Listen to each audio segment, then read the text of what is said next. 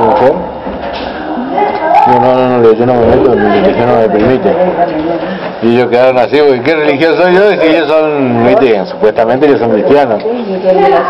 Soy católico una cosa y bueno, yo les salgo con otra religión y ¿de cuál soy?